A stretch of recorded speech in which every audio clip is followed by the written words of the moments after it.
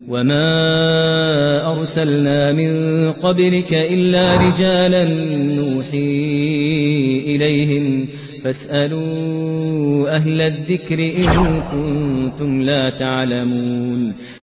ورحمة الله وبركاته الشيخ الله سن إلمزة برشت بيسين الله سن ناز بلسن خوش كالمسوز دابتنزي كابل الله فرصتين استفاد edip Allah'ın izniyle bizim size sorusu üzerinde anlamak isterdik. Aleyküm selam ve rahmetullahi ve berekatuhu. Buyurun. Birinci sualımız qardaş odur ki, həyati məsələdir. Bu yaxında yəni belə bir hadisənin şahidi olduq ki, bir qardaş nə qeyd ki, mən Bakıda bir qardaşa pul borcluydım, əlhəmdülillah. Yəni pul aparıb çox vaxt özüm çatdırırdım. Axırıncı dəfə zəng etdim, ona dedim ki, qardaş, pulu mən qardaşların vasitəsilə sənə çatdıracağam. O qardaş dedi ki, qardaş, xahiş edirəm, bir müddət gecikdirginlə ancaq pulu özün gətir. Sadəcə bu aznazalı bir faktdır ki, həmin qardaş dedi ki, pul gedib mənə gəlib çatmır. Bəzən qardaşlara verir o pulu, deyir qardaş mən xərclədim haqqı halıyla. Bu yəni əmanətə bir növ xəyanət kimi sayılır. Belə qardaşlara kiçik bir nəsihət verər şey inşallah. Yəni bir var borc verməmək, bir də var ki, yəni pulu verirsən ki, filan qardaşa çatdır, qardaş çatdırmır o pulu. Allah sizdən razı olsun. Bismillah, elhamdülillah, və salatu və selamu ala Resulü və məvalə.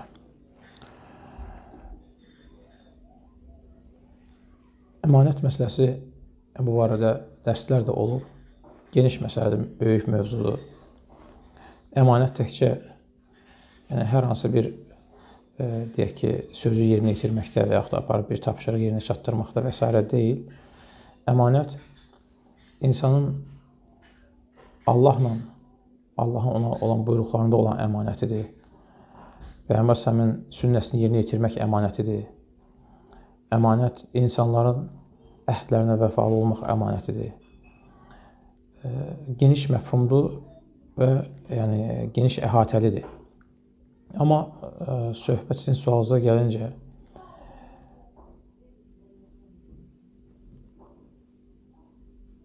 əmanətə xəyanət etmək, əmanətə vəfalı olmamaq münafiqliyin əlamətlərindəndir. Necə ki, hədisində Peyğəmbərimiz ona Allahın salavatı və salamı olsun buyurur.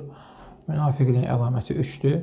Başqa bir hədisdə ə, kimdə dörd xislət varsa, xalis münafiqdir. Təbii ki, bu hədislərdə keçən münafiq kəlməsi əməli nifaqdan söhbət gedir, etiqad nifaqdan söhbət getmir, amma ə, əməli olsa belə münafiqliyin əlamətləridir. Onlardan biri də ə, əmanətə xəyanət etmək, əmanətə yəni ə, doğru dürüst yerinə yetirməmək məsələsidir. İki gün insanların gəlib bu duruma çatmağı qeyd edirsiniz. Əslində tam razı deyiləm. Allah həmd olsun ki, əmanətçi qardaşlarımız da çoxdur. Bu kimi insanların mövcudluğu və yaxud da biraz saylarının artması nisbi məsələ, məsələ, yəni bundan öncəki saya nisbətdə artmış görükməsi bu durumun hamının bu cür olması deyil.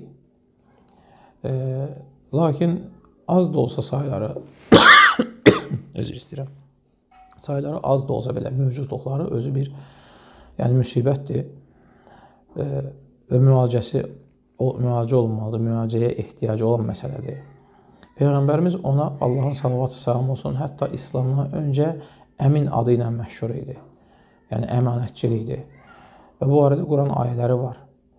Əmanətə vəfalı olmaq, əmanəti yerinə yetirmək haqqında və çox saylı hədislər var.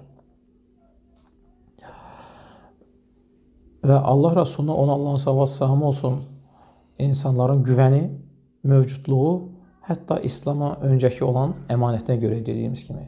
Yəni bu sifət nəinki müsəlmana, hər bir kəsdə üstün sifətdir. Hətta bugünkü gün bir xristian, yəhudi, məcusi mi hər kimsə əmanətçi olursa, həmin əxlaqi keyfiyyəti ilə üstün sayılır. Yəni üstün sifəti hər kimdə olsa və təbii ki, müsəlman da daha üstün əxlaqa layiqdir. Təbii ki, İslam da əxlaqların ən üstünlərini özündə topladığına görə İslamda da yəni əmanətçilik, əmanətə xəyanət etməmək önəmli mövzulardandır. Birinci, hər kəsə Allahdan qorxmağı tövsiyə edirəm. Əmanətə xəyanət də təqvanın zəifliyindən, imanın zəifliyindəndir. Ehtiyacdan dolayı deyil. Kim əgər deyirsə ehtiyacım oldu, ona görə bunu etdim. Təbii ki, insan hər kəsin ehtiyacı var. Lakin insanları ehtiyacdan çıxaran Rəbbimizdir. Necə Allah Taala Quranda buyurur ki, ehtiyacı olan duasına Allahdan başqa kim cavab verir? Yəni Allah Subhanahu taala ehtiyacın duasına cavab verir və onun ə, düşdüyü çətinlikdən çıxarır. Necə ki, başqa bir ayədə Allah Subhanahu buyurmaqdadır. Ə, kim əgər Allah Allahdan qorxarsa, Allah ona düşdüyü çətinlikdən çıxış yolu verər. Və men yettaqallaha yec'al lehu məxrəcə. Talaq surəsi. Və yarzuqhu min haythu la yahtasib. Sonrakı ayədə altı buyurur ki, və Allah onu gözləmədiyi yerdən ruziləndirər. Əgər insanın ehtiyacı ruzidirsə, Allah Subhanahu bunu təqvaya bağlayıb və bundan başqa da ayələr var bu mənalı. Həmçinin hədislər var. İnsan əgər təqva onunla bürünərsə, yəni işlərini təqva ilə yerinə yetirərsə, həm düşdüyü çətinlikdən çıxar, həm də yer üzündə fitnə fəsad yaymış olmaz. Ona görə birinci Allah təqvalı olmağı tövsiyə edirəm özümə və hər kəsə. Həmçinin əgər kimsə ayənin necə davamına gəlir ki, e, ruzi çətinliyi çəkirsə və bundan dolayı və yaxud da hər hansı bir səbəbdən dolayı e, əmanətçilikdən, yəni əmanətçi e, olmursa və yaxud da əmanətə xəyanət edirsə, bilsin ki, o ona zaten yazı Allah Taala tərəfindən yazılmış bir ruzini haramcasına qazandı.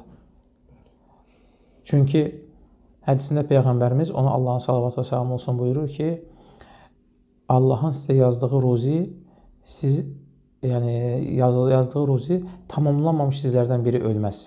Yaxud da sizlərdən biri ölməz ta ki Allahın ona yazdığı ruzi tamamlanmayıncaya qədər. Yəni nə ruzi yazılıbsa o gələcək. Sadəcə insan onu tələskənlik edib haramcasına əldə etməməlidir. Ona yazıldığı vaxtı yazılan ruzi gələcək necə ki hədisdən bilirik ki, hər kəs ana bətnində olanda onun üçün 4 şey yazılır qədərindən. Onlardan biri də ruzisidir. Bu nə artmaz, nə azalmaz. Əksinə insanın ömrü müddətinə hansı vaxtda yazılıbsa, həmin vaxtda Allah Subhanahu ona çatdıracaq. Və həmçinin tövsiyə edirəm ki, qardaşlara ə, elm almağı. Çünki təqvanı da artırmaq üçün, əxlaqi keyfiyyətləri də yüksəltmək üçün bütün hər bir şeydə mütləq elm olmalıdır. Elmi elmi artırmaq, səhih elmi artırmaq, vaxtlarını düzgün dəyərləndirib elmə sərf etmə, həmçinin ibadətə, dəvətə sərf etsinlər.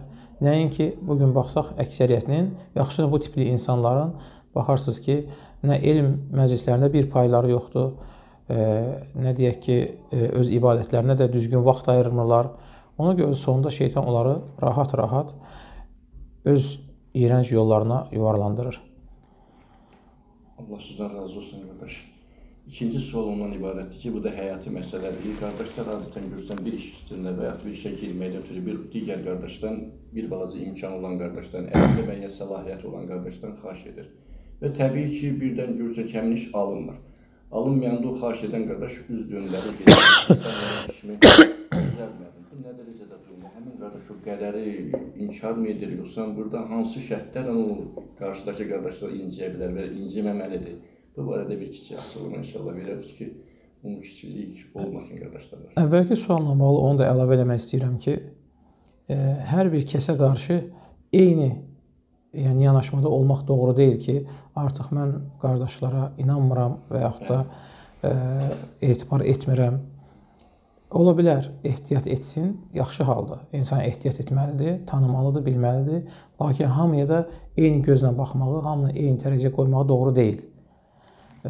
Əksinə dediyim kimi öndə qardaşların içində tanıdığımız etibarlı insanlar da çoxdur. Sadəcə e, kimisi dünya malına aldanıb ola bilsin, kimisi hansısa fitnələrə uyub bu hamıya şamil olunmaz. Ümumiyyətlə bu cür qaydaların, hətta deyərdim ki, nəinki müsəlmanların hətta qeyri-müsəlmanların içindən və yaxud da müsəlmanların içində olan qeyri-ibadət əhlinin içindən e, və yaxud da deyək ki, biz ibadət dini namazı qəsd elədik. Yəni namazda məscid, məscid əhli olmayanların içindən bir çox e, yəni əmanətçilər də görə bilərsiniz. Necə Allah Təala barədə buyurur ki, kitab əhlinə elələri var ki, onlara e, böyük bir məbləğdə versən, onlar onu sənə geri qaytararlar. Yəni vədlərinə əmanətçi olurlar. Eləsi var ki, ona bir dinar versən belə, ona yəni əmanətçilik olmaz. Ona görə e, nəinki müsəlmandır ki, hətta qeyri-müsəlmanların içində əmanətçiləri var. Və İslamdan öncə də Peyğəmbər sallallahu əmanətçil idi. Ona görə hamıya eyni gözlə baxmasınlar, lakin işçilərinə ehtiyatlı görsünlər. O tipli insanlar da haqqa dəvət etsinlər. O ki qaldı ikinci sualınızla bağlı ki, e, gözəl şəfaətçilik yaxşı əməldir və bu arada Peyğəmbər sallallahu hədisi var. Yəni irşad edir, tövsiyə edir bir-birinə, yəni e, şəfaət etməyi. Təbii ki, bu birinci haqq üzərində, halal üzərində olmalıdır. Əgər biri digərindən məsələn hər hansı bir işə, bir e, əli çatması üçün yardım istəyirsə, e, həmin iş halal iş olması və həmçinin şəfaatçilik halal üslubla, halal vasitə ilə olmalıdır. Kimisə haqqına girmədən, rüşvətsiz, filansız, yəni doğru üslubla olmalıdır.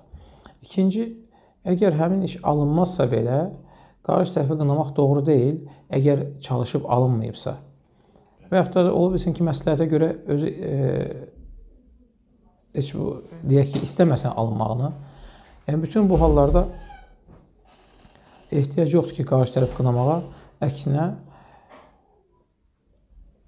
alınarsa Allaha şükür etmək, alınmazsa yenə Allaha şükür etmək lazımdır. Dəfərdən bəziləri deyərdilər ki, mən Allahdan bir şey istəyib Allah təala mənə onu vermədikdə verdiyindən daha çox iki qat artıq sevirəm. Çünki birincidə e, Əgər qəbul edərsə, mənim istəyimi Allah təala yerinə yetirib, amma qəbul etməsə, öz istəyini təqdir edib.